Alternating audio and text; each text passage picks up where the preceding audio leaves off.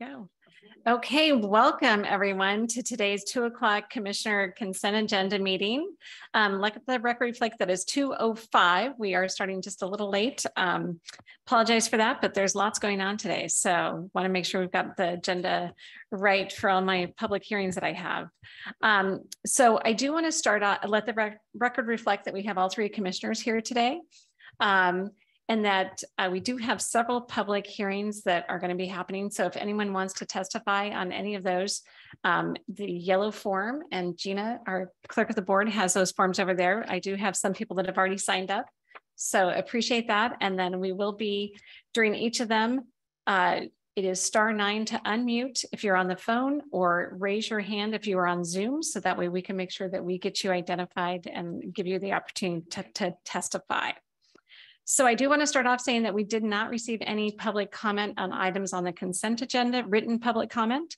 Um, and so we will start then with our open public forum. So that is for anything that is not on today's agenda. Someone who just wants to talk about something other than what's on today's agenda um, is what the open public forum is for.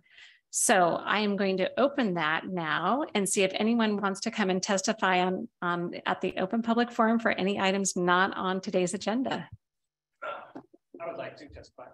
Okay, come on down and then we'll need to start off by just saying your name um, and address for the record and then fill out the yellow form when you're done. And you have three minutes. So everyone's got three minutes. We'll have the timer up on the board. And we'll go ahead and uh, if you just want to state your name and address for the record and then it'll start the three minutes. Um, my name is Brandon Ward. Uh, my address is 18814 West Burnett. Um, I was here on 719 at the commissioners meeting, uh, trying to get uh, get something done about the continued commercial use uh, going on next door to me. I mean, there's been uh, some uh, erroneous permits issued uh, with erroneous facts, which invalidate them, which were supported and have been, it's been going on for five years now. I've sent continued pictures of commercial use on 626, 7 5, 7, 14, 7, 16, um, 8, 10, 9, 13.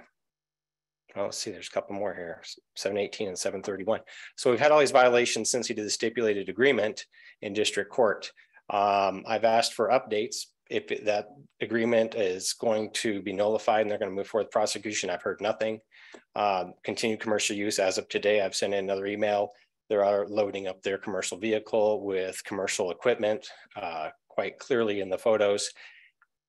Obviously, they're not going to follow through on the uh, negotiated agreement that they did with the district court. So what are we doing? Uh, I also understood that they were going to move forward with uh, the SEPA violations because uh, there was no grading permit, no SEPA per permit ever granted, and all that toxic soils still sitting there. Um, can I ask who you have sent those emails to? I have been sending them to Scott Chesney, uh, Gabriel, the investigator, can't remember his last name at the moment. Uh, and I've also been sending them to, um, let me look right here. Um, James Moore in general is my contact. Okay, those are the right people to send them to. Um, Mr. McLean? Can you tell me the person's name that you're raising the complaints about? Uh, this is uh, Don Bailey, Bailey Construction.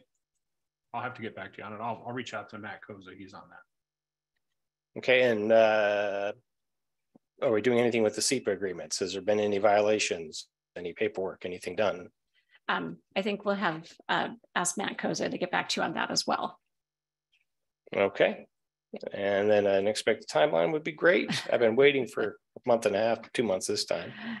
Yeah, no, I don't blame you. So uh, we will follow up with that. We'll make sure that, um, I mean, we'll confer with the two gentlemen there at the end to make sure that we get back to you. I would say okay. within two weeks. Okay, okay. thank and you. If, if not, then please email us commissioners and we'll make sure that that happens. Okay, I will do that. Thank you. Thank you. Uh, second call for anyone wishing to testify. I think I just did the first call. So second call for anyone wishing to testify on the open public forum. Seeing no one online? Okay, third and final call. Seeing no one else, then I will close the open public forum and I will look to my fellow commissioners for item number two on today's agenda. Madam Chair, I would move that we approve uh, consent agenda items number two A, two B, and two C as uh, presented on uh, uh, the agenda for today. I will second the motion. I have a motion and second for items number two A, B, and C on today's agenda. Any further discussion? Seeing none, all those in favor, please signify by saying aye. Aye. Aye, motion passes unanimously. That will take us to item number three on today's agenda, which we have item number three A, three B, and then we have a resolution number four that I believe Mr. Macio is going to give us a presentation on all three of those items, and then we'll take them each separately. Is that That is absolutely correct, Madam Chair, and thank you very much. For the record, my name is Jim Emacio. I'm a Special Deputy Prosecuting Attorney assigned to the Civil Department of the Prosecuting Attorney's Office. With me today, with regard to this item, we have Meg Winchester. She is the President and CEO of Visit Spokane. We also have Maureen Dodro. She is the Director of Finance and Administration with Visit Spokane. And we may very well have Eric Sawyer, who's the president and CEO of Spokane Sports. They may be available in the event the board should have any questions as we move forward. And I've asked Mr. Valencia to put the PowerPoint up and I've given the board a copy. So if you would bear with me, I'd like to run through it. This presentation is somewhat different than the presentation I gave the board two weeks ago when you set the notice of public hearing. It has a little bit more detail, which I think will assist you in moving forward and taking some action. Uh, firstly, if we could go to the next slide, Mr. Valencia, uh, the board will recall in, in 2003, the Washington State Legislature recognized the importance of tourism promotion within the state of Washington. And they passed the Tourist Promotion Act, which is codified now in Chapter 35101 RCW. Under the Tourist Promotion Act that was passed in 2004, a city or a county, at the request of lodging businesses, can establish a tourism promotion area. If you establish a tourism promotion area, you can impose a daily bed charge on lodging businesses with 40 or more units located within the boundaries of the tourism promotion area. In 2005, Spokane County was the first county in the state of Washington to form a tourist promotion area. That particular tourist promotion area, however, included the city of Spokane, the city of Spokane Valley, and the unincorporated areas of Spokane County. In 2000, uh, in 2023, the, uh, the city of Spokane Valley took formal action to terminate the existing uh, tourism promotion area. So the present tourism promotion area will no longer exist as of December 31st, 2022. Next slide, please, Mr. Valencia. Thank you very much. Uh, the board, the present request. Spokane County has received petitions to form a new tourist promotion area from lodging businesses located only in the city of Spokane and the unincorporated area of Spokane County.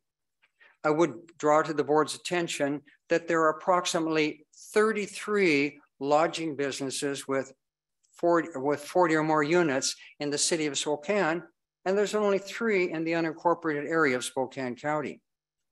The reason the Board of County Commissioners received the petition is that we have previously administered the present tourist promotion area and the lodging businesses felt comfortable in asking us to create a new tourism promotion area, even though we only had three lodging businesses and the city had 33. In this regard, I want you to know that I have been working very closely with Mike Piccolo, Assistant City Attorney, as we moved forward to ensure the city of Spokane was comfortable with the county being the lead in forming the tourist promotion area. And Mr. Piccolo uh, made the council and the mayor aware of where we were going. And they, in fact, are in accord. And moreover, uh, they already signed the interlocal agreement last night, assuming we take action today where they would join the tourism promotion area. The present petitions that were submitted to the Board of County Commissioners contain the signatures of lodging businesses who would pay 78.8%, 78 point of the special assessments that are going to be spread throughout the district. And the reason this is important is because in order for the board to form a TPA, you must have the signatures of lodging businesses within the boundaries that would pay 60% of the special assessment. So uh, we have uh, petitions or petitions, if you will, that are signed by 78.8%. And uh, Visit Spokane, who helped collect the signatures, employed Fruci and Associates to certify the sufficiency of the signatures. And we've received a letter today from them certifying based upon certain information that we've provided to them that in fact, the petition submitted to the board on August 11th and August 31st contain the signatures of lodging businesses who would pay 78.8% of the special assessments. The petition that we received, it's critical that we understand what it asks us to do.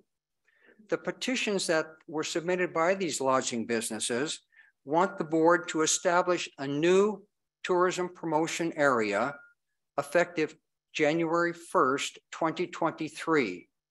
The boundaries would be the incorporated limits of the city of Spokane and only the unincorporated area of Spokane County. Visit Spokane reached out to the city of Cheney, Airway Heights, and the city of Liberty Lake, and they opted not to participate in the new tourist promotion area. We also had some dialogue with Northern Quest because they've got a huge lodging business. And by law, because they're a, a separate uh, uh, governmental entity, we can't include them without their permission. I'm advised that they are considering participating in some fashion in the event we establish a new tourism promotion area. So the petition said, please establish the new tourism promotion area with the boundaries that I've just indicated. Number two, it said, please impose a daily special assessment for people staying overnight in these lodging businesses in the same amount that we're presently paying. And they presently pay a daily red charge of a base charge plus an additional charge. And in certain zones, it's $4 per night. And in another zone, it's only a dollar per night. I'll talk about that in a minute. But the key here is the special assessments that they want to impose in the tourism promotion area, which we will establish, are no different than presently in effect. So there'd be no change for them. Number 3C, they've requested that the Board of County Commissioners form a, uh, form a Spokane Hotel and Motel TPA Commission. And this commission would be smaller than the one that we presently have. The commission that they've proposed would consist of five individuals, one elected representative from the Board of County Commissioners appointed by the board, one elected representative from the City Council appointed by the Spokane City Council, two individuals appointed by the city from the who are members of the recommended by the Hotel Motel Association, who have to be owners of lodging businesses, and one appointed by the city of Spokane, and one individual from the appoint, she's recommended by the Hotel Motel Association, who owns or operates a lodging business appointed by the Board of County Commissioners. The public members, just like they are now, Mr. Kerns, are non-voting members, although they can speak. And the reason this uh, committee is important is on an annual basis, they make a recommendation to the Board of County Commissioners on how the revenues generated within the tourist promotion area should be spent. And although they make a recommendation, the law is clear The ultimate decision is that of the Board of County Commissioners. Since 2005, we've had the present TPA. To my recollection, the Board of County Commissioners has always followed the recommendation of the Hotel Motel uh, TPA Commission in conjunction with determining how to contract for the services. So next steps, if we can move, Mr. Valencia. I'm trying to move through this quickly, Madam Chair. I apologize it's taking so long. So subsequent to the receipt of the petition, which I've talked about, which contains the signatures of 78.8% of the lodging business who are going to be paying the special assessments, the Board of County Commissioners by law is required to do three things. They have to hold two public hearings, and then they have to execute an interlocal agreement with the city of Spokane. So with the permission of the board, I now want to go to the three public hearing items with that background in mind and tell you what the purposes of the two public hearings and then the administrative action. Mr. Valencia, if I could go to the next slide. Uh, item number 3A, board members, I call it public hearing number one. It's entitled, in the matter of adopting a resolution of intention to establish a tourism promotion area having certain boundaries and other matters related thereto.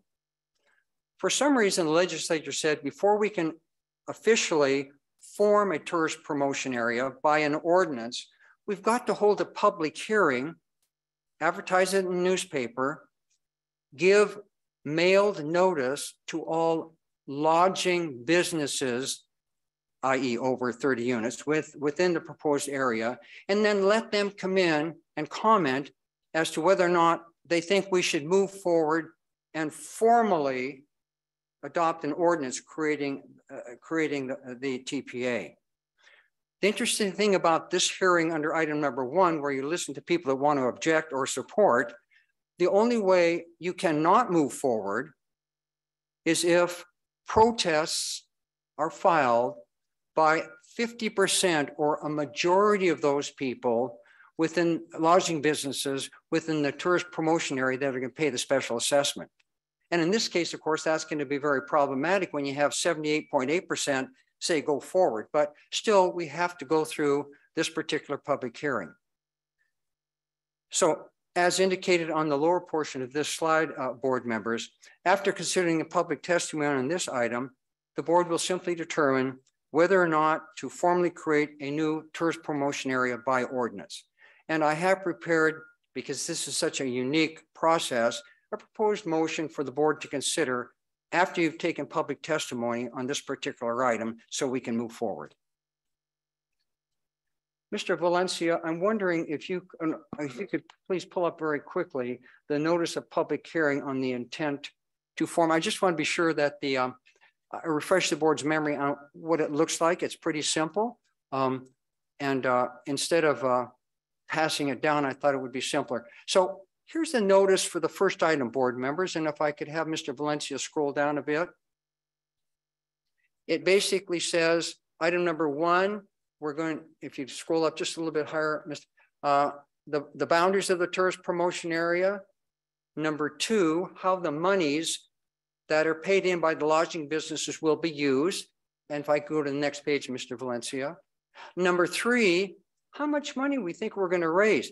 It raises a lot of money, board members. It's guesstimated, depending upon the number of events in the community, that this tourist promotion area can raise between four seven and five two million dollars a year. And remember, that money then the Board of County Commissioners determines how to spend to encourage tourism promotion in the uh, uh, the area of the TPA. And then item number four on the, uh, the uh, notice, it shows exactly what we're going to charge, if you will, lodging businesses whose boundaries are within the TPA. And item number A is all lodging businesses located within the city of Spokane. When the board establishes the TPA, they will pay uh, they will charge $4 per room day for people staying overnight in their businesses. Item zone B is all uh, lodging businesses in the unincorporated area of Spokane County. And as I mentioned, there's only three, but they too will pay a total uh, charge, uh, charge, if you will, four dollars per day. Zone, I've got to go back to if I could zone A. Zone A and B apply to only lodging businesses whose in, gross income for room rentals was more than five hundred thousand dollars in the previous year. And Department of Revenue has that information, so they know uh, what they should be charging. Zone C and D relate to lodging businesses located in those particular categories whose, whose income from room rentals is less than, less than $500,000. And as you'll see, uh, under zone C, if you're in the city of Spokane or the unincorporated area and your gross income from room rentals is less than a half million dollars a year, you only charge a dollar per day to people staying overnight instead of the $4 a day. Why is this language important? Remember, to form a tourist promotion area, the lodging business initiated. They tell us what they would like us to impose as a special assessment. So item number one is simply to take public testimony on the notice of intent. And then uh, in this particular case, I, I can't imagine you not making motion except to move forward to adopt the notice of intent and to uh, move forward to the next item. Okay, the next item, I'm almost through. Sorry. Public hearing number two, Mr. Valencia, if I could. Okay, this one's an easy one. Again, the legislature said, okay, cities and counties, if you approve a notice of intent to establish a tourism promotion area, the next step is you have to adopt a formal ordinance formally establishing the tourism promotion area, including the language within the notice of intention as to what the uh, particular parties want. And so this is a particular ordinance, which is the second public hearing item, which you have in front of you. And uh, Mr. Valencia, if I can go back to the public hearing on item number two, thank you for uh, showing the ordinance itself. This ordinance is very similar to the present ordinance we saw. And the reason that's important is because the Department of Revenue administers this ordinance, and we didn't want to shock them by a lot of different language. So when Mr. Piccolo and I put together this ordinance, we tried, to keep in place the language that's presently in our ordinance that we have. There we go. So with regard to item number two, the public hearing on the ordinance, I won't spend time on that uh, what I've tried to do in this overhead board members is simply indicate what is in the ordinance. We've talked about that previously. One, establish the TPA with an effective date with the boundaries. Two, talk about the special assessments. And Mr. Valencia, if I could uh, really go to the next slide. We talked about this before, how much they want us to impose. Next slide, please. This simply indicates the particular zone what uh, that zone encompasses. Zone A, City of Spokane only. Zone B, unincorporated area only. Zone C, less than $500,000 a year. And then Zone D, these are specifically exempt by the statute, and that language in Zone D is copied from the RCW. Next thing, three, establishes a five-member hotel motel TPA commission, which we've talked about. Number four, uh, provides for the disestablishment of the new TPA. And what I've done, board members, is I've copied into our ordinance the language under the state statute that provides a mechanism to disorganize a, a TPA. Um, number five, it authorizes the chair to execute at other than an open meeting agreement with the Department of uh, Revenue because they're responsible for administering this. And number six, it provides for enforcement. So those are the the language in the ordinance itself. Finally, item number four, and the chair is giving me the look. And number, it's number three on the overhead, but I think it's, is it number four on the agenda, Madam Chair? So, as I said before, the first thing the board holds a public hearing on the notice of intent. If they adopt the notice of intent, then they hold a public hearing on the ordinance.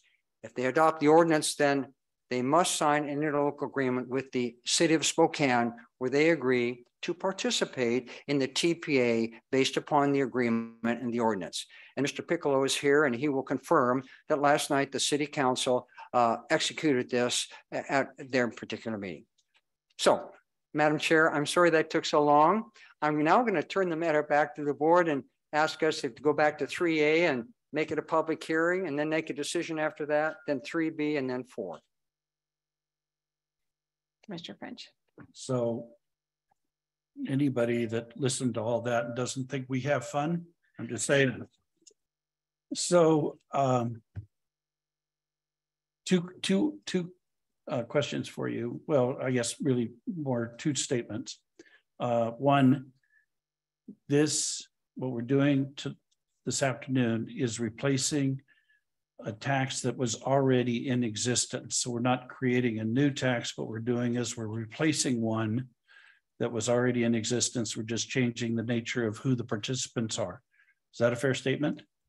A correct statement, except it's an assessment, not a tax and the law make it. But in answer your Thank question, you. you're correct, Commissioner French. It's an assessment. And it is a self-imposed assessment.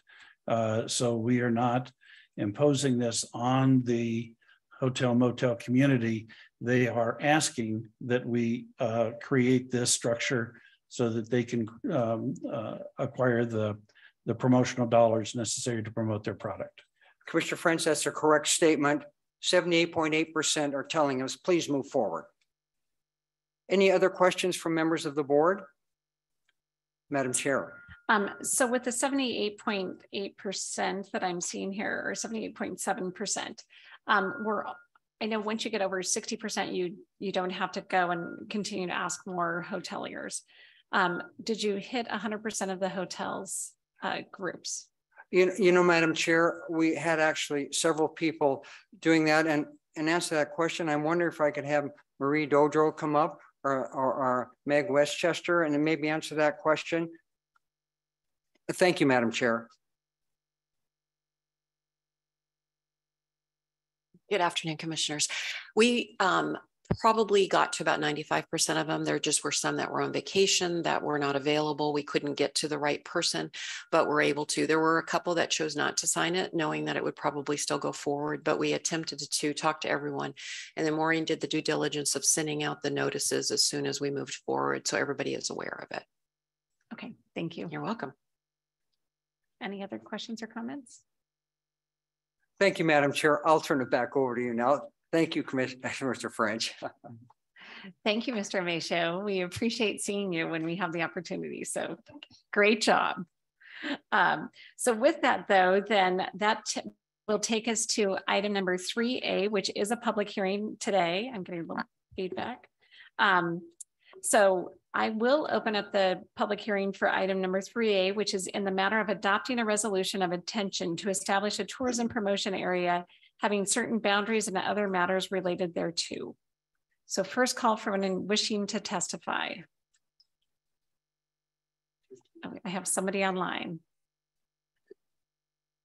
Okay, so Dan Zimmer. Er, uh, looks like you have your hand up and we'll go ahead and start with you. Uh, hello, uh, good afternoon, commissioners. I represent the Davenport hotels, but I also am on the TPA Commission Board, uh, as well as on the Sports Committee, Spokane Sports Board, who is one of the uh, recipients of the funding. Um, and not to date myself, but I was part of the group in 2003 that so self-imposed this fee um, just to try to figure out how can we market our our um, our area and and our hotels, but but the greater Spokane area too, and uh, bring visitors in. And tourism is such a big part of um, what makes us successful, and uh, and so many other touches so many other businesses. Um, I, I, on behalf of the Davenport hotels and the other uh, functions that I, uh, capacities that I listed, I am fully in support of, of continuing this TPA uh, assessment and, uh, and, and am eager and willing to continue to participate in um, how it's distributed and how it's um, uh, used with the marketing agencies, uh, Visit Spokane and the Spokane Sports. Um, um, one, one thing on in addition to that, we also set aside money and we use that as seed money for new events to come into Spokane. So we try to help certain events, you know, as many events as we can uh, touch, uh, get off the ground and get their events started and um, hopefully, you know, become bigger and better over time. Thank you. Very good. Thank you very much. Um, second call for anyone wishing to testify on item number 3A. Third and final call for anyone wishing to testify on item number 3A. I will close the public hearing. Seeing none, I will close the public hearing and look to my fellow commissioners. Madam Chair, I would move to approve the resolution of intention to establish a tourism promotion area having certain boundaries and other matters related thereto as set forth in Spokane County Resolution number 22 0567, as well as the execution of a decision uh, to that effect. I will second the motion. Okay, I have a motion and a second. Any further discussion? Seeing none, all those in favor, please signify by saying aye. Aye. Aye. Aye. Motion passes unanimously. That will take us to item number 3B, which is a public hearing in the matter of an ordinance establishing a tour tourism promotion area, having certain boundaries and other matters related thereto. I will open up the open public testimony. First call for anyone wishing to testify. Second call. I'm looking, seeing no one in the audience and no one online. Third and final call for anyone wishing to testify. Seeing none, then I will close the open public hearing and look to my fellow commissioners. Madam Chair, I move to adopt the ordinance, which was the subject of the public hearing and advertised under resolution number 22 0568 entitled an ordinance of the Board of County Commissioners of Spokane County, Washington, establishing a tourism promotion area within the unincorporated area of Spokane County and the city of Spokane, imposing a charge on the furnishing of lodging by a lodging business located in the tourism promotion area, providing for the collection of the charge, providing for the administration of the charge, and other matters related thereto. I will second the motion. Okay, I have a motion and a second for item number 3B on today's agenda. Any further discussion? Seeing none, all those in favor, please signify by saying aye. Aye. Aye, motion passes unanimously. Then that will take us to item number four. And I will look to my fellow commissioners. Uh, We have to take testimony on this. No, this is just a resolution. Okay. So Madam Chair, I move to approve execution by the board of that document entitled Interlocal Cooperation Act Agreement for Establishment of Spokane County Tourism Promotion Area, wherein under certain terms and conditions, Spokane County and the city of Spokane will set forth the terms and conditions under which they form a tourism promotion area provided for in chapter 35.101 RCW to include the boundaries of the city of Spokane County, city of Spokane and Spokane County, and the unincorporated area of Spokane County. I will second the motion. Okay, I have a motion and a second for res item number four, which is the resolution that was just stated. I'm not going to restate. Uh, all those, uh, any further discussion? Seeing none, all those in favor, please signify by saying aye. Aye. Aye. Aye, motion passes unanimously. Thank you very much. I know that that's a lot. Uh, Mr. Mesha, appreciate it. Uh, Meg and, and Visit Spokane, I know you guys have worked hard on this, so uh, great job. And you have your tours promotion area. Okay, that will now take us to item number 5A. So the next several items, I've got 5A, B, C, D, and E that are all public hearings. We will start with item number 5A, which I believe Monty Chamberlain is going to come up and speak to us. Good afternoon, commissioners. Uh, Monty Chamberlain with Public Works. I'm pinch hitting for the county engineer who is on vacation. So um, the matters, I'm going to give an overall uh, background on the three that I'm going to present because uh, they all kind of go together into um, resolving the finishing of our project of the Bigelow Gulch Corridor on the eastern end. Um, if you go to the next slide, please, Ron.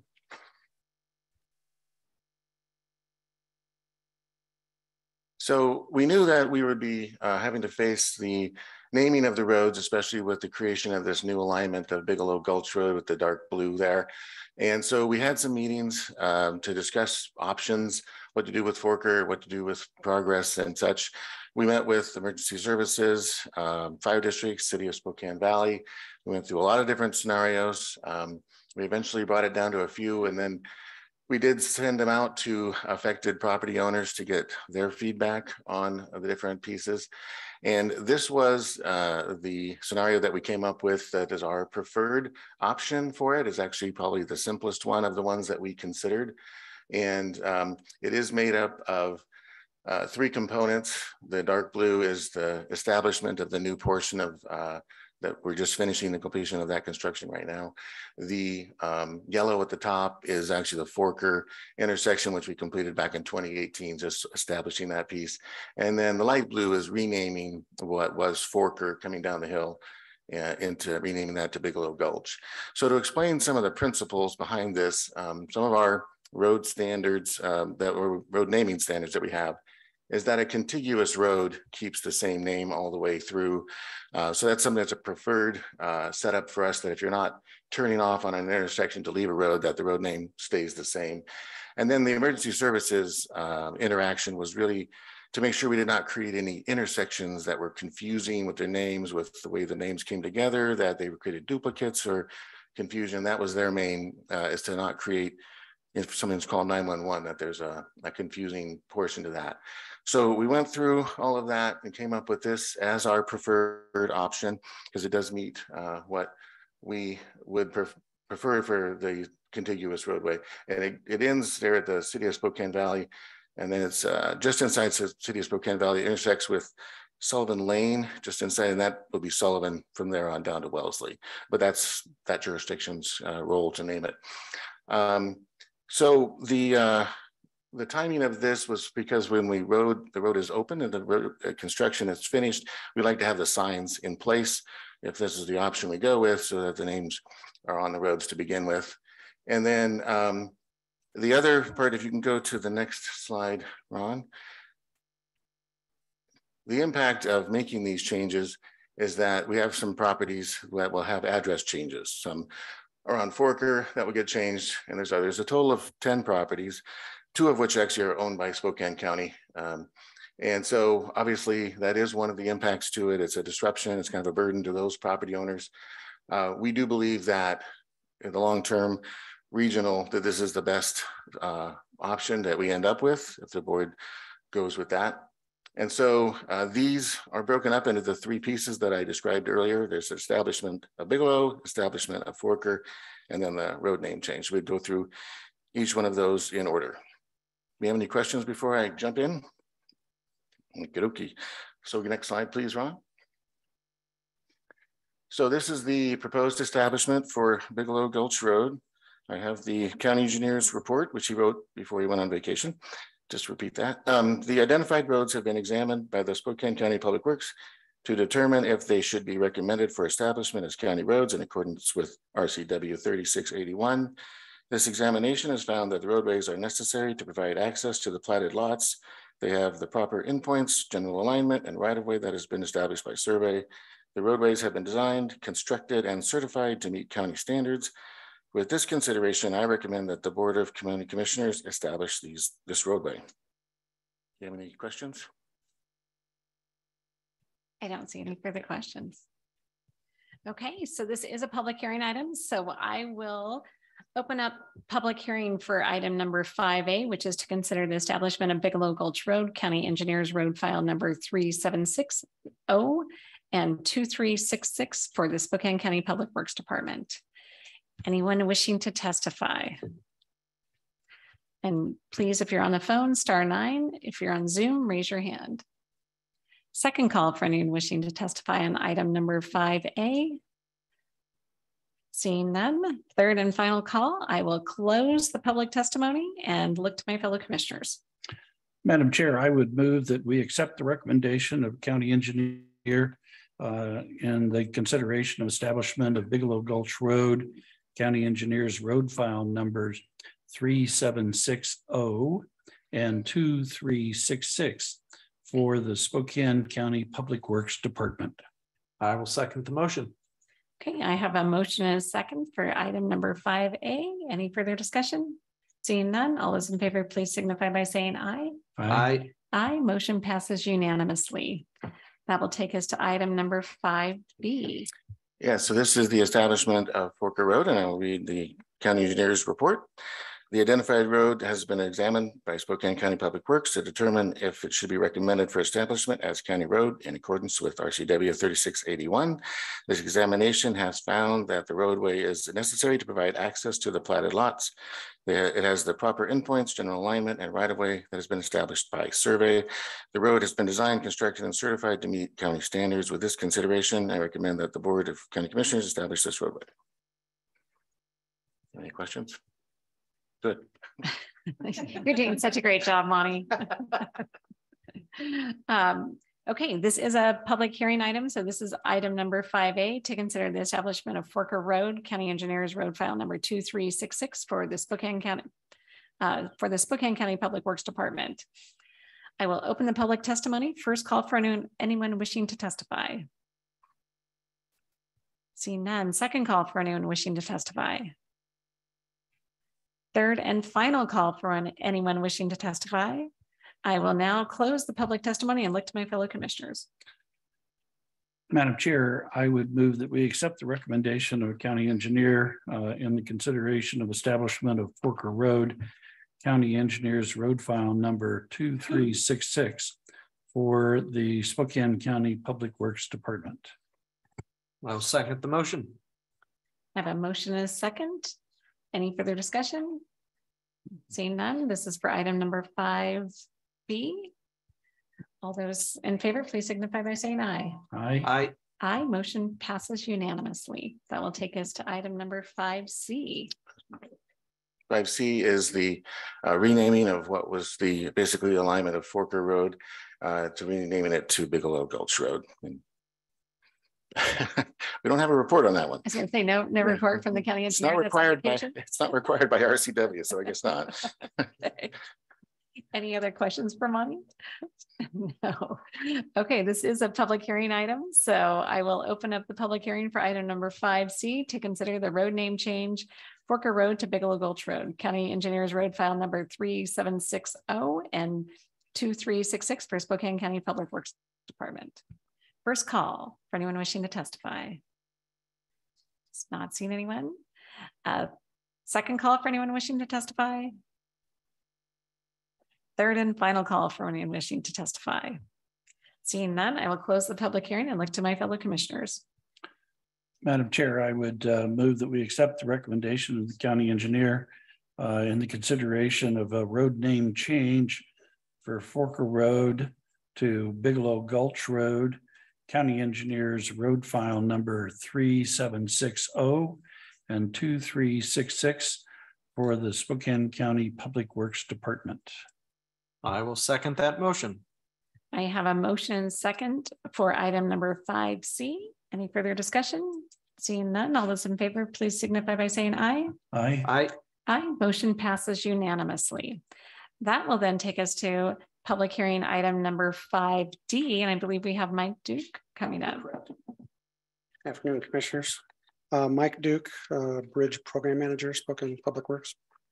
Um, this is for the recommended addition of load limits on the Barnes Road Bridge thirty-six twenty-two. And this particular structure is located north of Country Homes, east of Wall. Um, and analysis has indicated that the bridge was never designed to carry the current legal loads that we are required to evaluate them for, and therefore recommending that several of the legal loads be imposed load limits, particularly the uh, dump truck style vehicles, large single units. Any questions for Mr. Duke? Okay, thank you. Thank you. Okay, so with that, then um, this is a public hearing item, so I will open up the public testimony for item number five D to consider revising Spokane County Traffic Code number forty-six point four four point zero four one to add load limits on Barnes Road Bridge, bridge number three six two two for the Spokane County Public Works Department. First call for anyone wishing to testify. Second call for anyone wishing to testify. Seeing no one online or in the audience, third and final call for any, anyone wishing to testify. I will then close the public testimony and look to my fellow commissioners. Madam Chair, I would move that we uh, accept the recommendation of the county engineer and in considering revising Spokane County Traffic Code number four six point four four point zero four one and add load limits on Barnes Road Bridge, bridge number three six two two for the Spokane County Public Works Department. I will second the motion. I have a motion and a second. Any further discussion? Seeing none, all those in favor, please signify by saying aye. Aye. Aye. Aye, motion passes unanimously. That will then take us to item number five E in the matter of confirming the base assessment maps for flood control and water quality in conjunction with the zero ratio of benefits, uh, number of classes, degree of benefit of Newman Lake Flood Control Zone District for the Spokane County Public Works Department and Ben Brattebo. Yeah, thank you, commissioners. Um, Appreciate the opportunity to present to this. Uh, So I'll have a short slideshow and then um, be available for answering questions. And uh, staff is here to answer questions that might come up during the public hearing. So we'll go through these slides. Um, This is a bit of background about this process and, and Spokane County hired a board of appraisers to review uh, the way that the assessments are are applied are in the Newman Lake Flood Control Zone District. And it's it's been an extensive process, but this formal process was um, with the Board of Appraisers was the first public meeting about a year ago, almost exactly a year ago. Um, 18 meetings, opportunities for written comment and public comment during those meetings. Um, and then the results of those were to um, remove split parcels. This was a was a an allowance that was previously previously allowed that would allow parcels to have a reduced assessment um, by splitting off an area that was further from the lake. And these results are all of the the summary of the board of appraisers findings. So their their recommendation was provided to you. And then this public hearing is an opportunity for people to to provide feedback on those findings. Um, the second one on the result side is uh, they changed the benefit classifications a, a bit, and that um, have information on the next slide for that. Uh, the third one is a recommendation to use a market value as opposed to a current use. So a market value is uh, an assessed value, but then that assessed value can be reduced by exemptions for open space or forestry. And currently um, we use the current use or reduced value of those properties, but the Board of Appraisers suggests that a market value, potentially a higher value for, for properties that have uh, an exemption. Um, um, so it would change the valuation that would be assessed. Um, as, as a summary, in this year, there's 761 assessed parcels. And if this was approved, these changes were approved, there would be 803 next year. Um, 123 parcels have a change in their classification. Um, as a summary for the cost, the highest assessment charge increase. So there will be a property out there that pays more, but on average, the assessments will be decreased. It will be spread across a larger, larger number of parcels. Um, we're still uh, waiting for a response from the Attorney General's office about using market value or, or uh, current use. Um, but that's not a, a discussion of the at this time. Um, and then the, the next steps, and this is where we are today, is the is the public hearing um, that we have. So next slide. This is a summary, a comparison. If the the 2022 assessment, which was which was levied against the properties, and then um, after remapping, and this is still using the current value, so there's a little bit of apples and oranges comparison here, but this is to show you that there at the bottom there's more properties that would receive assessments, um, and then the, the second line from the bottom is that the average assessment charge is reduced because it's spread out over a larger number of properties. Next slide. This is a summary of the, the benefit classifications. This is what the Board of Appraisers use to de decide how properties would be included. So there's the two categories. There's flood control benefits, which properties are all uh, in the flood control zone district are assessed for flood control benefit and then separately assessed for water quality benefits. So each property is assessed under each of these categories and, and um, could be at a different class in each of those categories depending on where they are. So for example, um, on the flood control benefit, the, the agriculture properties to the south of the lake are receive 100% benefit and they, they're charged 100% of the value of their property um, for tax assessment. Um, alternatively, for the water quality benefits, um, the 100% category is for non-agricultural land on the lakefront. And so each, each property is assessed and can be assessed differently in different categories. And so um, next slide. And this is a summary of the of mapping. And so on the left is what we have for this year of how properties are assessed. And on the right is the areas highlighted in red um, that show the change. So the, the, the largest change. And so there, um, this is for the flood control benefit. You see on the left side, the blue area um, on the on the right hand figure is is that's the removal of the split parcels. So that's a change there. Or alternatively on the right hand side those are properties that were added uh, for uh, to be newly assessed. So that's the flood control figure. And then the the other figure is the is the next slide is the water quality figure.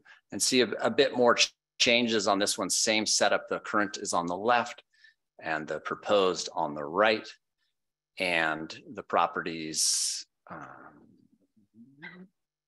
again on that left hand side in the purple area you see the removal of the split parcels. The long skinny parcels will be assessed for their full value.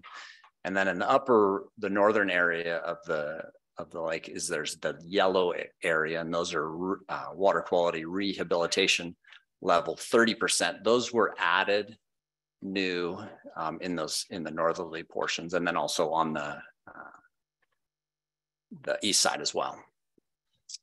So those are the two, um, these two figures will be uh, the part of the discussion in public hearing today and will be available to answer questions and we can, uh, if people that wish to testify want to zoom in or, or, or look more closely and point out where they might be and, and how they sit, we're able to do that.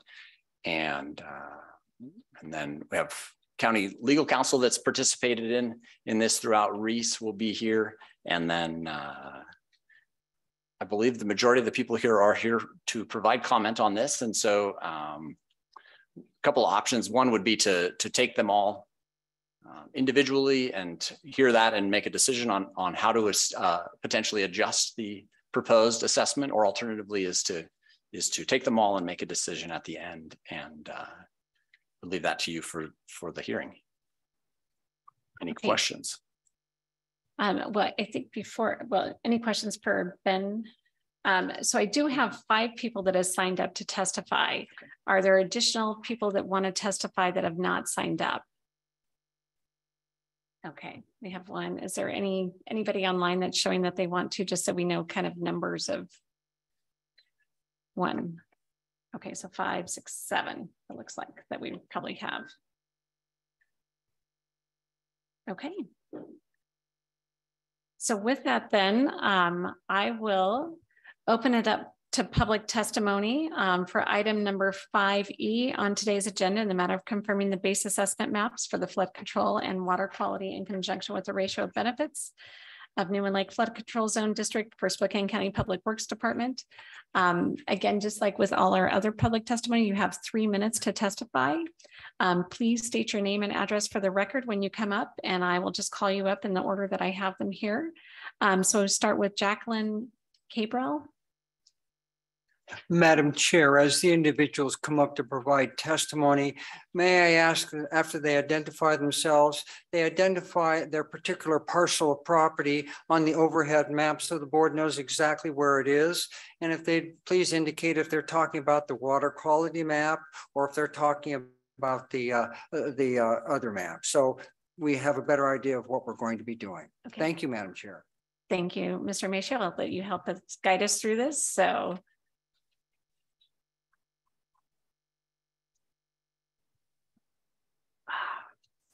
Thank you for hearing me. My name is Jackie Cabral. And it's the first time I've ever testified in front of a public forum, so excuse me if I get a little bit nervous. My parcel number is five seven two seven three dot nine zero one eight. And I don't know how to point see. out, Yeah. because I don't see a pointer or anything like before that. we start, can we figure out how to? Okay.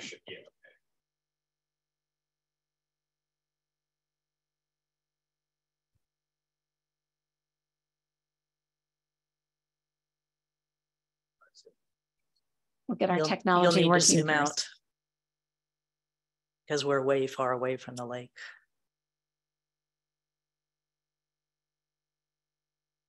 Yep, that red little square is where I'm at. Okay, And I would like if you would please um, put the map up that looks like this, the water quality map. Because I would like to address certain areas. My basic position is I do not agree with the findings of the Board of Assessors and what the recommendations are. Just A little bit farther, please. Okay. Um, so, and just, just so you know, the three minutes is not gonna work with the map up, so we'll have Ron do three minutes on his phone as we start. Oh, okay, that's fine. So you won't be able to see that going. Okay, so there are fourteen properties that are up here. And I'm speaking in uh general.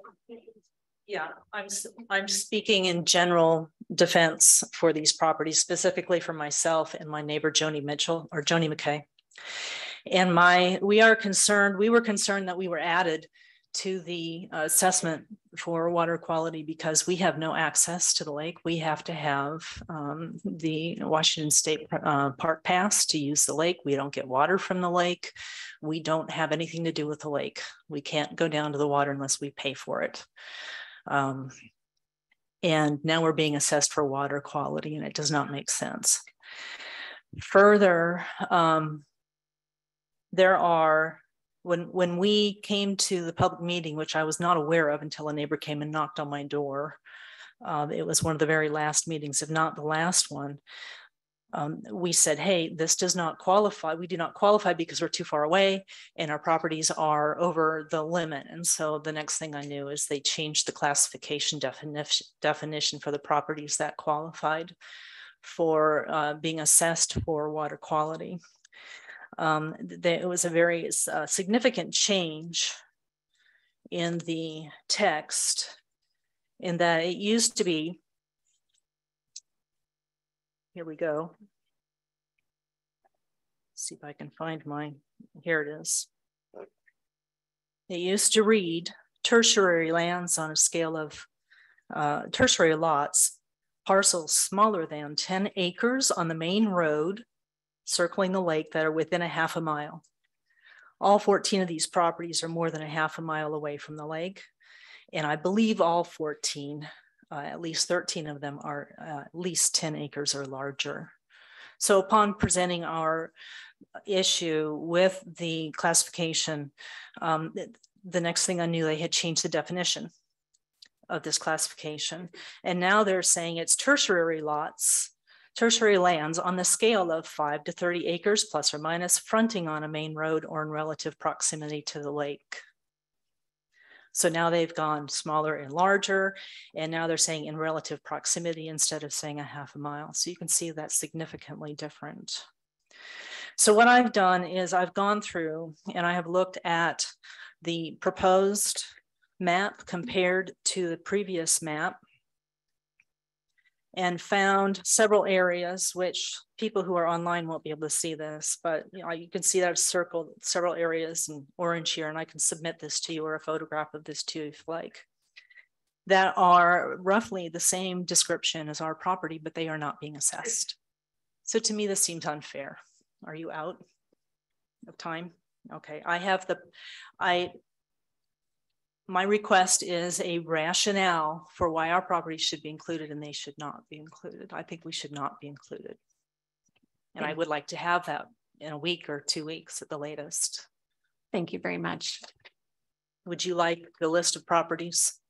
Um, so the the piece that you showed that used as testimony with the uh, the circles that you had, if you could give that um, to our clerk of the board or get a copy of that to her so that way we have that for the record. Madam Chair, may I please be sure we summarize this presentation? My understanding is your testimony is the property you're concerned about, you're concerned about the water quality map only, and you're concerned about your particular property. They amended the definition of class number three, 30%, and they amended that definition, and then your property was included in that particular definition. Is that correct? No, that's not correct. Okay, I'm sorry, I misunderstood. So the way you said it, it implied that they changed the definition, then they added our property. They added the property and then they changed the definition when they complained. Jim, I think that's an yeah, we need to have you step to the microphone so Pardon everyone can hear. I just want to be clear that they added our fourteen properties, and then when we complained after that, they changed the classification.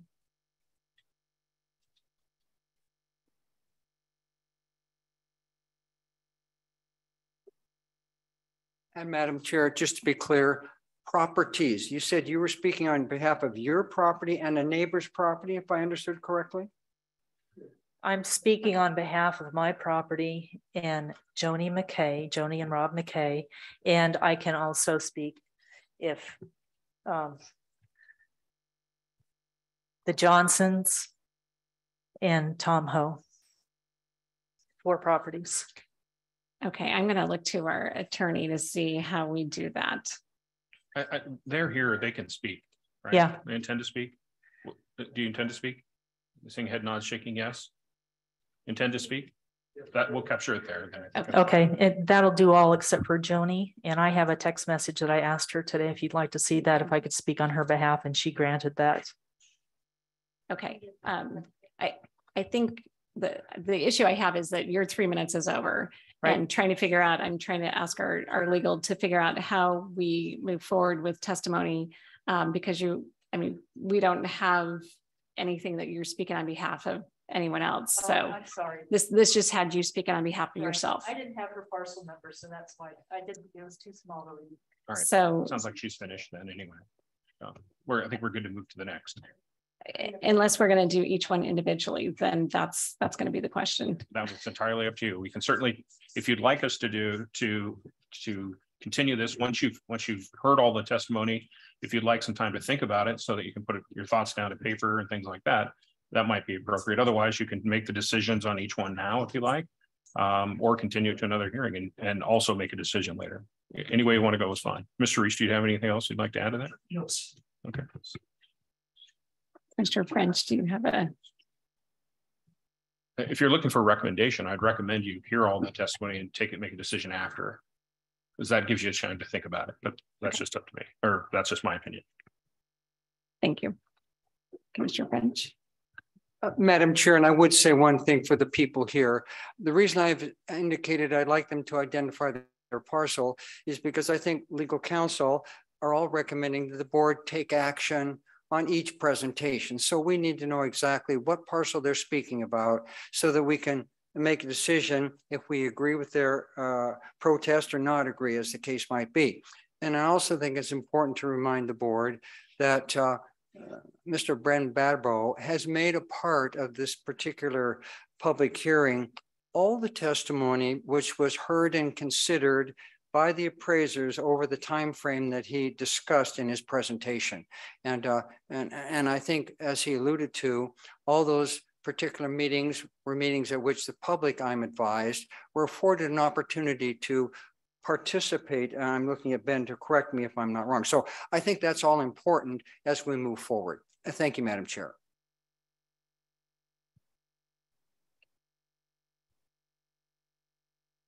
I think Mr. Emacio just addressed my concern that for us to take an action, we need to have a parcel number to tie to an action, whether we're either going to accept or reject uh, in the motion.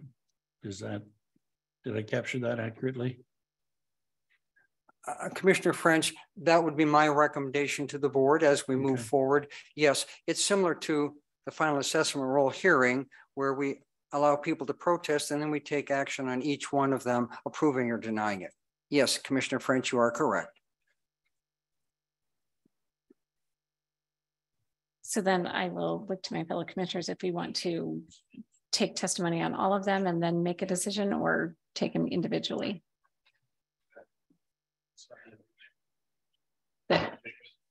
I'm sorry, did you say you wanted to take them? I- I'm Oh, sorry. but no, I'm just asking my fellow commissioners if uh, they want to take them individually or if they want to take them as a group and then we, we uh, make the decision, which was your recommendation, but I just want to make sure before I go on to the next one. Well, and, and recognizing that it, sometimes it's clearer and easier for yourselves to, as you hear the information, make a decision then. So it's completely fine to do that. Either one is fine. Mr. Mason, do you have something? I'm sorry. Madam Chair and board members, um, I think Mr. Brattebo is here and he may very well want to draw to the board's attention matters in the record which address some of the concerns which the people will be speaking to. And it would be my recommendation that you may want to hear from Mr. Brattebo about what's in the record that may address the concerns that have been raised. And so, as I say, I think it's certain, as we move forward, uh, there may be factual issues that Mr. Brattebo will talk about, and there might be legal issues that Mr. Scarrett can address if those come up. For instance, there are certain presumptions in the state law that applied to the appraisers. These weren't just simply people. These were appraisers. They were MAIs. They went through a selection process and they have expertise. And I think uh, the board's aware of that. The members of the public are aware of that because the process to select them was open to the public. So then, Mark, if, if, oh, Commissioner French, go ahead.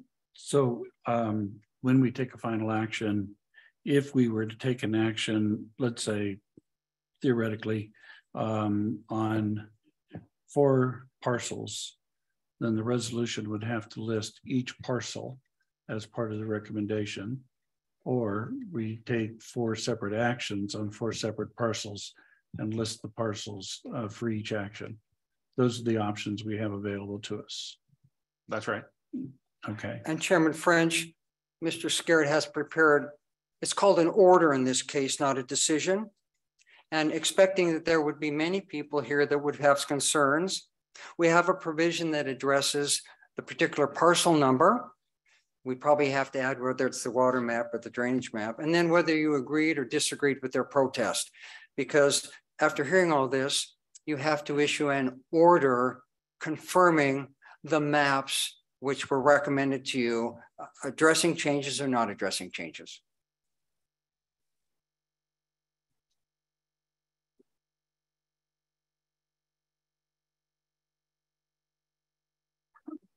Well, How about we listen to all the testimony and then if there's agreement, one way or the other, we can either take them all as one or we can go through one by one, but let's hear all the testimony first. Okay, I, I would agree with that. I just want to make sure that you guys were feeling comfortable with that decision as well. Um, I do uh, want to ask our legal counsel, since we are looking at parcel by parcel, um, with the first person that spoke, having a text, is that appropriate or not appropriate legal? I, I don't think we have a known parcel number. I don't think we know what the, what the grievance is. So I'm afraid not. Yeah, she, she gave us the parcel number. That's how they consider- did the lookup for it. It's uh five seven two seven three point nine zero one eight. I'm sorry, that was on hers. That though. was hers, but not for hers neighbor. So, but the second parcel was what? Nine zero five eight. Okay. So uh, I guess, Mark, I'm asking if the person is not here, is that sufficient or not? Let me think about it a little bit. I, at this point, I would, my preliminary thought would be no, but let me think about it some more while Okay. I'm doing, see, I'll, I'll see if I can do some research too. Thank you. Okay, and then I do want to just ask that um, the, the screens are very sensitive, so it- not to have you get too close to the screens. Um, so thank you very much for that. Um, okay, so the next person I have uh, wishing to testify is Thomas Huff.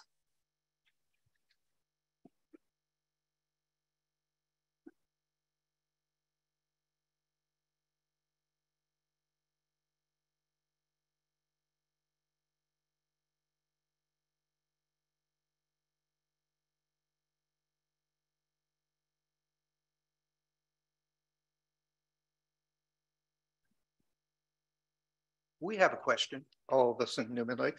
What's this gentleman's uh, representation here? He is our, uh, he's a deputy prosecutor. Oh. He's, he's our civil attorney. He's been our civil attorney actually in Spokane County for over 40 years. Okay, And, and we were just wondering, uh, you know, all of a sudden Yes. decided to join us.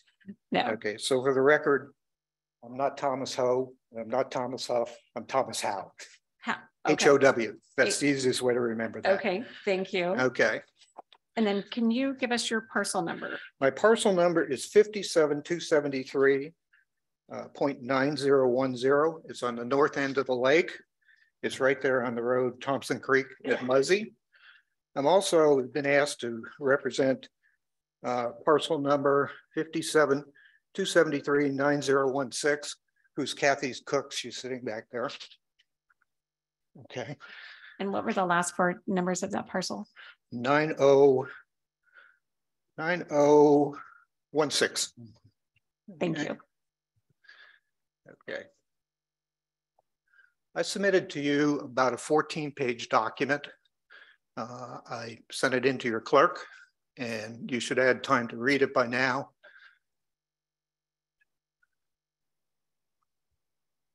It was a Newman Lake rebuttal. Did you gentlemen have a chance to see it at all? Yes, okay. Hope you enjoyed the pictures. I'll cover that. Okay. I believe Dennis Freewinkle is going to cover the, the primary issue, but I want to affirm, I do not believe anybody in Newman Lake should be charging for water quality. If you check within the state, okay, Newman Lake is the only lake that people are getting charged a fee for water quality, okay, that are adjacent to the lake.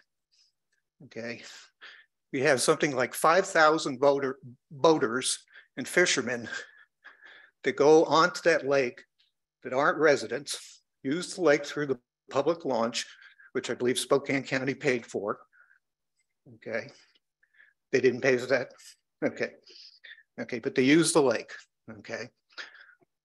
Uh, so as far as I'm concerned, okay, I should be charged nothing, and nobody in Newman Lake should be charged. But I'm on the that group of 14 properties up there, okay, that had the definition change, okay, which made me rather unhappy because the gentleman claimed, okay, on the Board of Appraisers, okay, that I had a view of the lake, and if you have a view of the lake, you have a large uh, interest in that lake because your property is a higher value. Okay, I went through a complete study in there okay, did a sampling of about 75 properties. And what I found was, is it's already accounted for in those people that live on the lake, as I did at one time, okay, their property value per acre is about 20 to 25 times higher than mine. Okay, your own Spokane County appraisers have confirmed, okay, the value of a piece of property on the lake or off the lake is determined by the parcel acreage. Okay, they charge based on the frontage on that lake. Okay, and it runs anywhere from two thousand, I think, to twenty-six hundred dollars.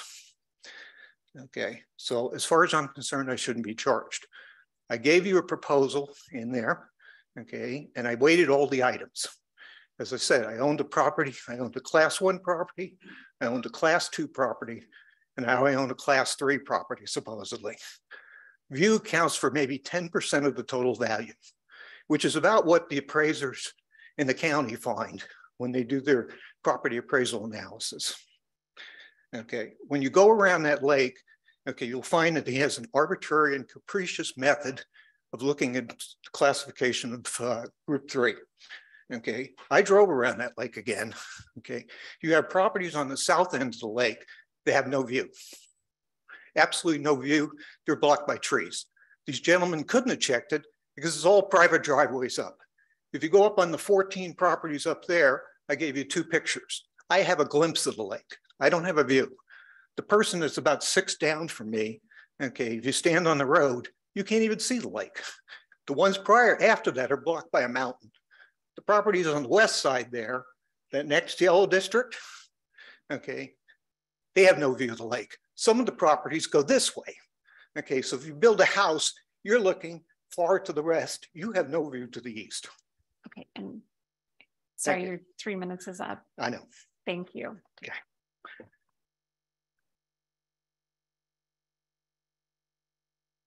So I'm going to just summarize it that you would are I believe it.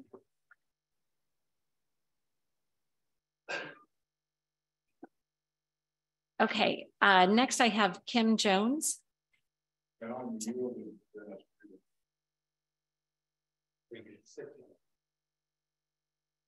Okay, so you're okay. Does say that.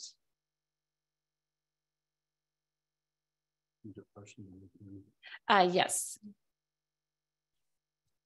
So Dennis, will you have his parcel number when you come down? No, I don't even have my own. Ron can pull it up, he's been there.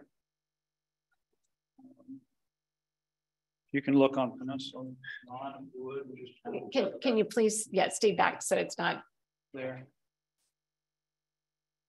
So to be, to, to qualify for a protest, we do have, we do have to have a parcel number, so. Well, if you we can, if you can expand it or Ron can pull up a map, I can point it out for anybody. I think address. Address is one three six oh four North Peninsula Drive. Um, and I'm, I, first I'm going to start with uh, Mr. Jones's, which is 13620 North Peninsula Drive. So if we can have his parcel number.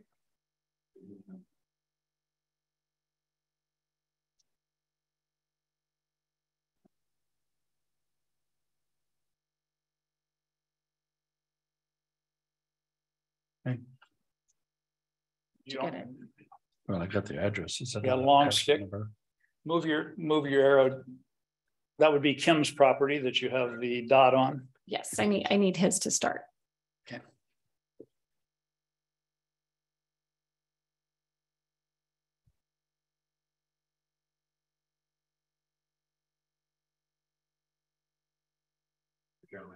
Okay. Um, that's okay. So we have the address, we can get the parcel number then. And then um, we have. Mr.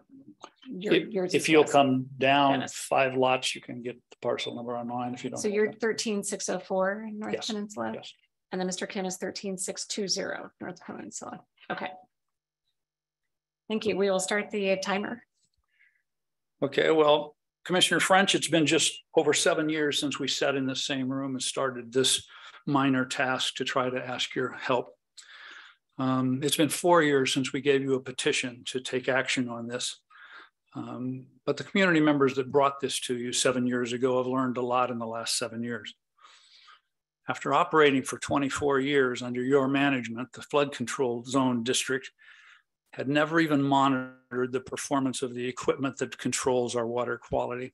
When we observed their maintenance on the equipment in 2016 and pointed that out, you promptly fixed it and started monitoring it, and then you banned the community members from watching you do maintenance on our equipment. Community members also discovered in 2016 that you never even knew the cause of the discrepancies in these appraisals until the community pointed it out. You thought it was the 17 Witherspoon properties for the entire history. In 2016, it was pointed out that it's 65 properties that were split. With the exceptions of a few parcels that are being adjusted today, the results of this study are almost negligible. Some people are being brought up in line because they haven't been in line forever. Some people are being brought down because they were overpaying. um, but it has little effect. And it could have been done by a decision of this rather than of this group, rather than spending $160,000. The community has emphasized during this study the strict conformance with RCW 86. Yet RCW 86 requires that you audit the assess assessment roll every three years, and you've never done it. That was pointed out when we found that there were people on the assessment roll that were charged an assessment for years and not caught by the district. We applauded Commissioner Kerns for having his staff um, work with us early on and explain the, our concerns and problems with him. However, you have since chosen no longer to speak to the community members that brought this problem to you. You've uh, chose to work with a community leader and her adjustment and assessments is going up about $1,300 to be fair and equitable because she's being adjusted and that's who you choose for an interface.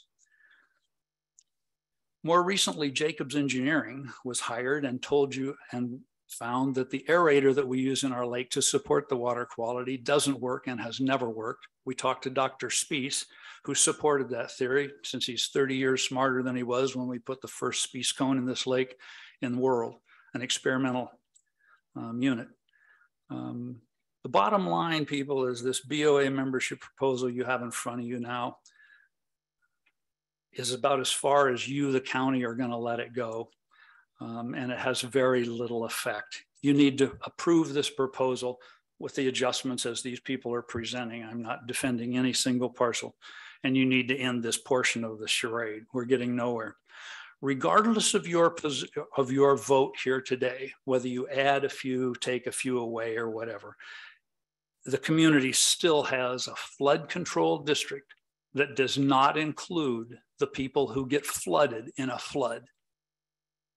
And you still are taxing six, 761 or 803, pick a number of us for living next to a lake for the water quality of a 1200 acre public lake to keep it safe for human recreation. And Fish and Wildlife already has surveys out that tell you that I believe 7,000 people or something visit that lake each month in the summer to recreate on it. This doesn't end this. The, the result of this study here today has very little impact. For most of it, it'll be a $5, $10 swing. Anything that we would have got marked off due to the decision of the current BOA was just increased when the um, advisory board raised our assessments 26% this year. Um, independent of the fact that Spokane County has done a poor job of managing this district since it, since it was began in 68, it is actually time to dissolve the district. The flood control district should be reformed if the community so chose, and you should include the people who are actually flooded. The assessment would be small. Probably the highest assessment would be $150 or something if you spread it out in line with the study you've just done and included the people that get flooded. For water quality, that's the county's problem, not ours. We already pay the taxes that that fund the county should be doing this. We the people who live on or near or overlooking the lake should not be paying this okay? Has it changed much in seven years has it uh, mr french? I don't think so other than we've become much more aware of the quality of the management of the district. I appreciate your time. Any questions on anything i've said or that i've sent you?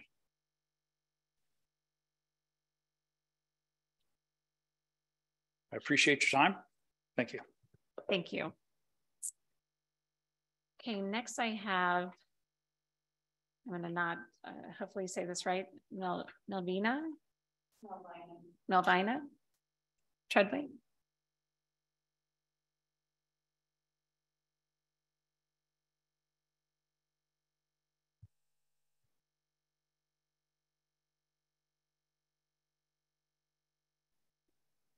And I guess to help, I've, I've got an address, uh, 10811 North McCoy Road.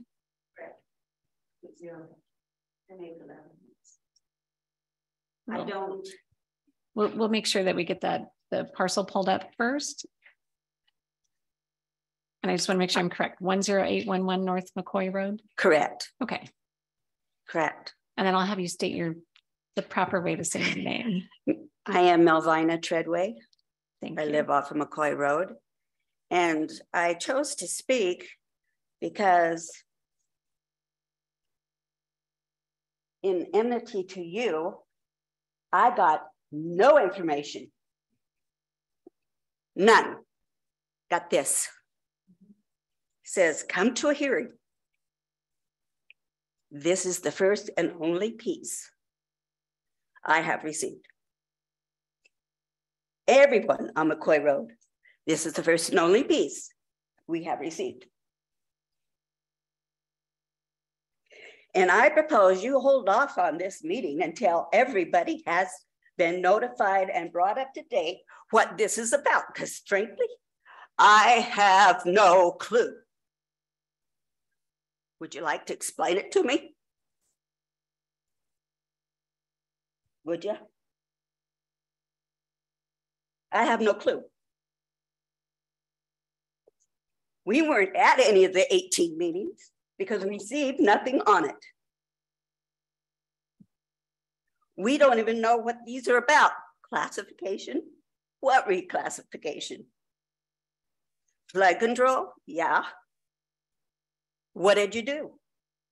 Have no clue, no information, nothing. McCoy Road, nothing, no information, nothing. We got this right here. In the past, whenever anything was done with Newman Lake or that area, we received in writing a packet of what was presented and why. Information. Have received nothing. Just this. This is not fair. If McCoy Road has been reclassified in any way, according to the flood zone, uh, according to the uh, market value or instead of current use value for whatever reason, for whatever, which I do not understand, I do not have any information on, I have nothing. Absolutely nothing. I would sure like to know. And so would the residents on my road. Nothing. So I really do ask you as commissioners for all of Spokane County, including McCoy Road, to please hold off on any decision on E until we receive a packet of information that explains to us what these people have done.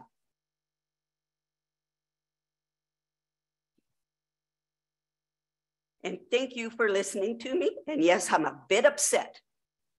Am I involved? Is my property included? I don't know. Thank you. And neither does anybody else. Um, Gina, is there a way to get a photocopy of that so we can have that for the record?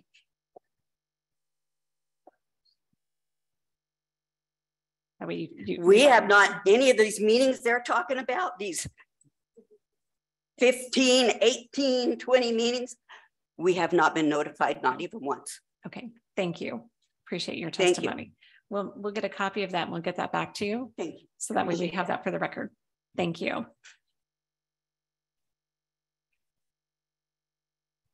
Okay, the next person that I have is Al Balcom.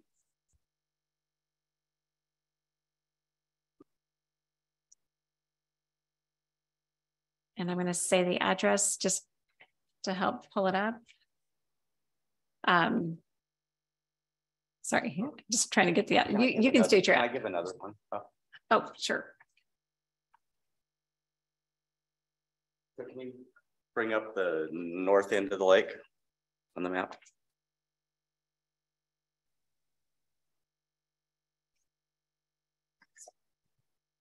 So, okay, so uh, are you Al? I'm Al. Okay, That's, and so your address is one four four two eight North. Mason- that's, that's close to the, my parcel. That's my parents' address, actually. but Okay, and then I guess the second one that, That's my sister. okay, so the, um, is she here today? Yeah. Yeah, I, I, Okay, you're gonna come up after. Okay, perfect. So my parcel number, the, I've got five parcels there, but one of them is five, six, zero, three, one. Point nine, zero, zero, one. And that's the hashed one. Did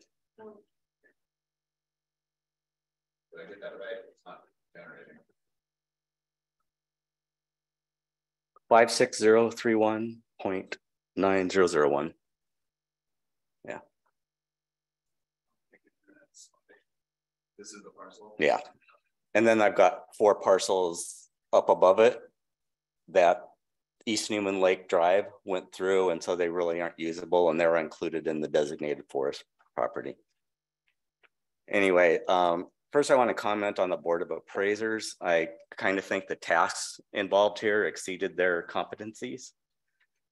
Um, they operated on the original benefit criteria through almost all of their efforts and did not come up with the new ones until the second to, to their second to last meeting. After they realized that um, the parcels that they were trying to put in and had colored the map didn't meet the criteria. So for example, mine is 80 acres. It's outside of their five to 30. They didn't consider the boundaries of the floodplain in, in, in assessing or yes, assessing the uh, which properties should be included in flood control benefits. And, you know, I have designated forest. I don't receive any water quality benefits. I mean, I have no benefits, so I don't know why I'm being included in that or the floodplain. My property is outside the floodplain. So I don't have any benefits from flood control. And as far as the other parcels that my family has, are the yellow ones up above. I mean, all the properties on the north end do not have any benefit of flood control. They, you know, it's more likely that they're going to get flooded more trying to control the water for the, you know, flood below, the flooding land below, like down around McCoy. So, I mean, I, I just think that, I mean, what the tasks involved exceeded their competency.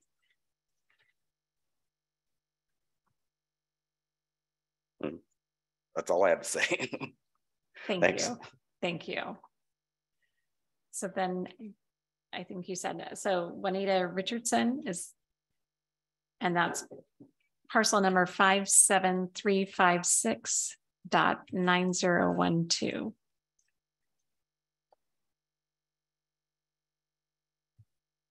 Nine zero one two. Nine zero one two.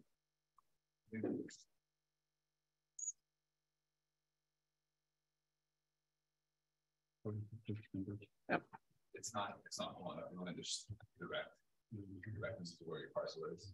Um, can you move the map down a bit? It's, can I go point? And just don't go, to- Yeah, yeah, we got it there.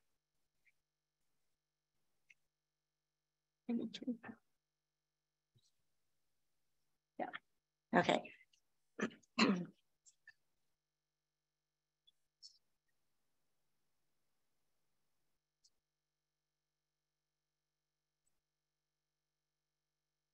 Okay, we can go ahead and have you start Okay. just, I, just Okay, state your name for the record. Oh, um. Juanita Richardson. Thank you. And on the yellow thing, um, I guess I need to state that I oppose how they're assessing this. Um. This is, uh, it's thirty acres, it's designated forest, it has no access to the lake. If I want to go use the lake, I have to do like any other citizen in Washington state. I have to go to the public access, or I have to ask a private citizen. Can I use your property to get to the lake? And um, I'm one of the people that I feel the new classifications were changed so that they could include, you know, my property as well. I was rated at many different, different ratings throughout this thing and throughout this process. And then um, I've now ended up at uh, apparently classification four for water quality, which says agricultural lands, which I'm designated forest. And um, I feel that the Board of Appraisers have changed what the benefits that we get from our flood control district. I do not feel the Board of Appraisers job was to say what um, our district, our flood, our Newman Lake Flood Control District uh, does for us. They've changed it. I do not believe our we should be paying any assessment for the flood control zone district for the smell of the lake. I don't think they can control that. I don't think we should be paying any assessments on that. They cannot, uh, the flood control zone district cannot stabilize my property values. Um, they cannot change my proximity to the lake. And then they say, oh, well, um, you have, we should have water quality assessment because of highest and best use. They never set foot on my property to see what I can even do with my property. Um, part of it's swampy, can't build on it. Part of it's too steep. Part of it has streams with riparian zones. They have no idea what my property is, you know, is. And so I don't understand how they can assess my property for water quality. Um, I just, I totally oppose it. And I do not, I feel that the benefit classifications that they have rewritten were changed so that the properties they felt should be in this um, um, new, uh, whatever you call this map, this benefit zone map or whatever. I feel they've changed that. And quite often, if you go back and listen to the recordings, when people would ask, why do you feel that? They'll say, we just felt it was right. You know, it was in our gut whatever. I'm sorry, you can't do that. You need to have some concrete reasons for why you're assessing people's property. And I'm totally against it. Thank you. Okay, that takes us to the end of the people that I had uh, yellow sheets for that uh, wanted to testify. So I'm going to see if there is anyone that uh, still would like to testify, if there's anyone online, because we haven't checked online. There is someone. Okay.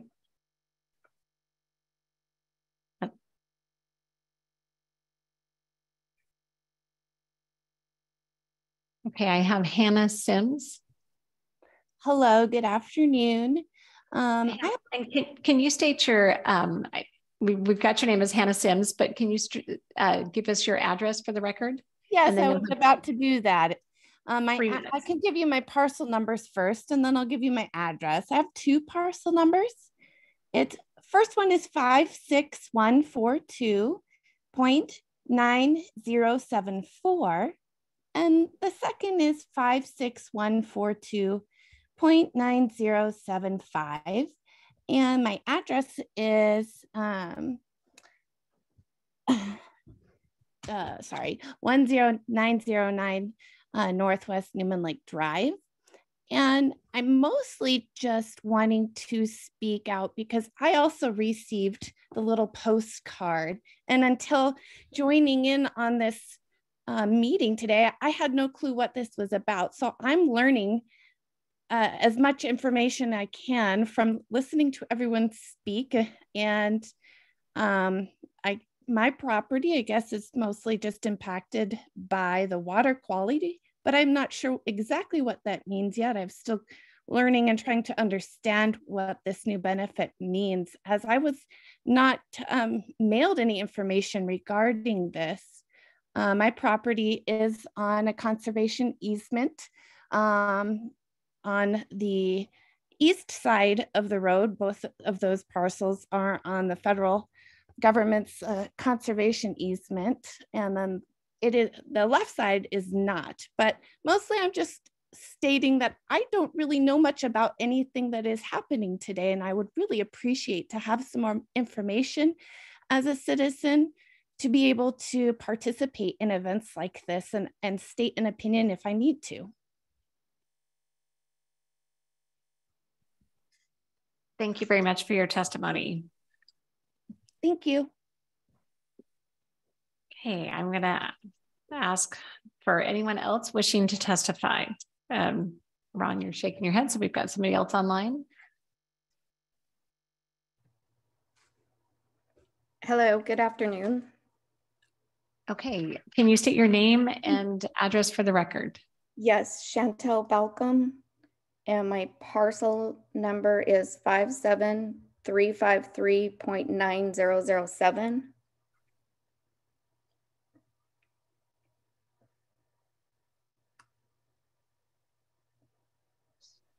Can we get the address from you as well? Uh, North 14428 Muzzy Road.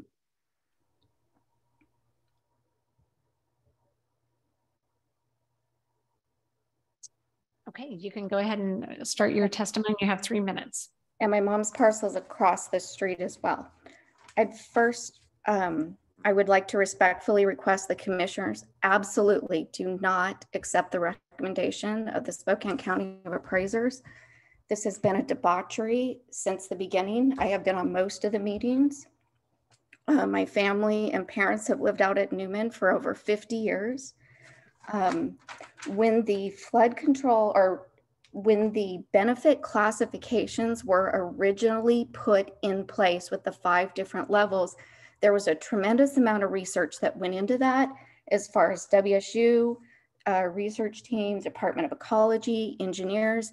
The three appraisers have no knowledge, no expertise on any of this, or like I, many people have said, they're they're assessing a benefit on parcels that aren't even in the floodplain or that have a view that aren't even on the lake for water quality.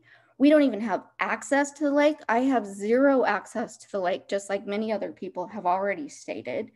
I don't even believe the board of appraisers have the right to reassess the actual classifications that should be a, a board decision by the Newman Lake Flood Control. Um, I'm not sure if we're supposed to comment on this or whatnot, but in addition to levying um, the tax, obviously on assessed valuations or market value, um, regardless of what the AG, the Attorney General's opinion is, or I know, is just um, is is just I mean the recommendation is I've never heard of a tax being levied on market value if they're in a special classification. Um, basically, some benefits assessments have, I mean, the to use the land value on the basis of its current use not its highest and best use. And some assessments are removed from assessing ag and forest, such as the, um, oh, whoops, sorry, I'm reading the wrong thing. Sorry, very prepared today.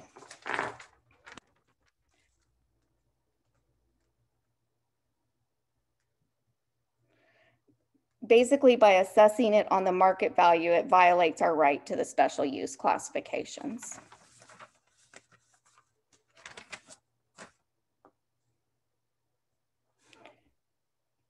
I think that's really all I have to say.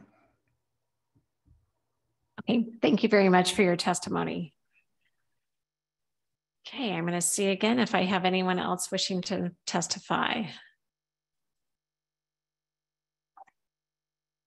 Okay, and I'm not seeing anyone else on, online. I'm not seeing anyone else come forward. Uh, third and final call for anyone wishing to testify on item number I got to get back to my, my list here, 5E. Seeing none, I am going to close the public testimony at this time. So then I'm going to, I guess we need to decide if we're going to uh, uh, look at this all together today or continue this uh, hearing. Well, I um,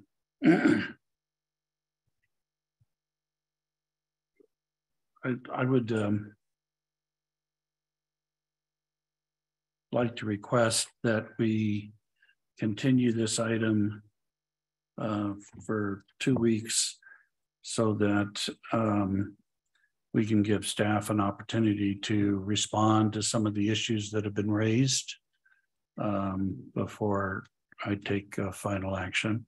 Um, I, I think some statements have been made that I would like to get clarification on uh, and, and verify um, before I feel comfortable taking an action. So um, that, that's my request. I don't know what my fellow commissioners would like to do. Okay, I, I would say the same thing. I, I think there's enough information that's come forward that I just want to get clarification and understand. Uh, excuse me, sir, we have closed the public testimony at this time. So we will then, uh, I think, you know, two weeks, I think is okay with me um, for us to get back to. Um, so we will continue this public hearing uh, for two weeks. Uh, I believe, Mark, at this point, we will not have a public hearing again when we, we will just be coming back to make a decision. Is that correct? Your Public. hearing. Yeah, so in your language, you said we'll continue the public hearing. We don't want to continue the public hearing. We want to continue the item for decision making. Okay. So that we don't leave anybody with the, the idea that we're going to take more testimony. Thank you for the clarification. So that would uh, mean uh, the, the clerk has provided me with a note. Uh, we would uh, defer this action to uh, September 27th at our 2 p.m. Uh, consent or 2, 2 p.m. legislative session. Okay. Yep, I will second that motion. Okay, I've got a motion and a second to continue um, until September 27th at 2 o'clock for at our legislative meeting. All those in favor, please signify by saying aye. Aye. Aye. Aye. Motion passes unanimously. Okay, so we have one more. Oh, I'm sorry. Oh. I, I, I, didn't, I, I, didn't, know whether you were. yeah. Even to remind you. yeah, no.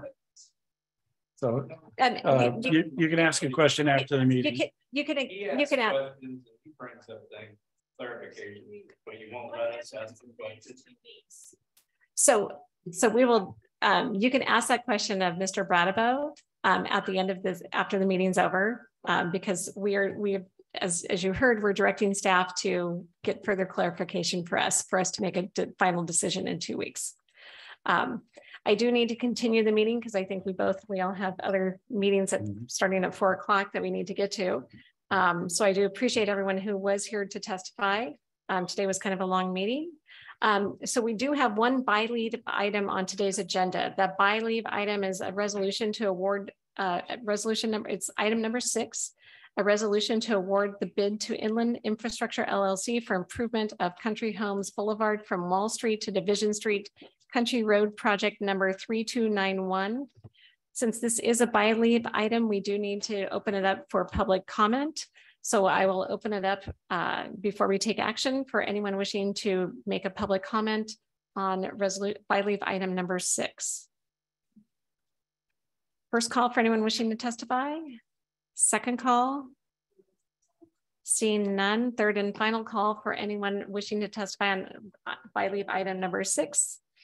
I will close the public comment and look to my fellow commissioners. Madam Chair, I would move that um, we um, approve the awarding of a bid to Inland Infrastructure LLC for improvement of Country Homes Boulevard from Wall Street to Division Street, uh, Country Road Project, County Road Project number 3291. I will second the motion. Uh, any further discussion? Seeing none, all those, uh, uh, seeing none, I will call for the question. All those in favor, please signify by saying aye. Aye. Aye. Motion passes unanimously. Okay, that will conclude our two o'clock uh, legislative action meeting. And thank you all very much for being here.